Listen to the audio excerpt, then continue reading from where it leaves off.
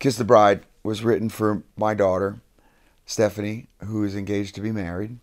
And um, I hope that you like it as much as I do. Um, maybe even consider it a wedding song for someone you know. Um, but my little baby, who I wrote, I got the girl for when she was five years old, is now 30 years old.